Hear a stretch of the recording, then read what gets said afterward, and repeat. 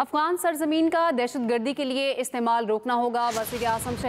کا اجلاس میں میں خطاب کہا پاکستان خطے امن و استحکام چاہتا ہے معاشی ترقی اور استحکام کے لیے مل کر آگے بڑھنا ہوگا وزیر اعظم شہباز شریف کا غزہ میں فوری جنگ بندی کا بھی مطالبہ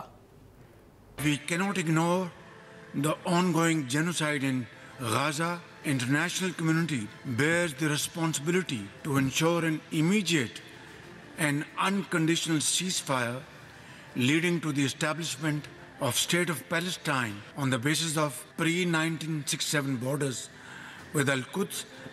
as its capital Islamabad میں شنگائی تعاون تنظیم کا تیسواں اجلاس وزیر اعظم شہباز شریف کے خیر مقدمی کلمات کہتے ہیں مستحکم افغانستان خطے کے لیے ضروری ہے افغانستان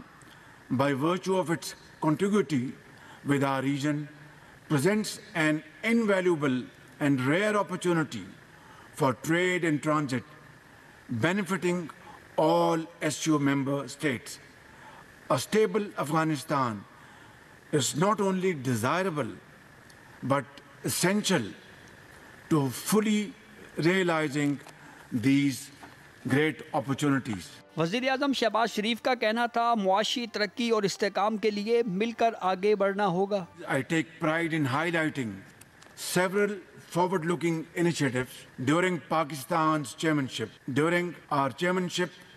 the SEO economic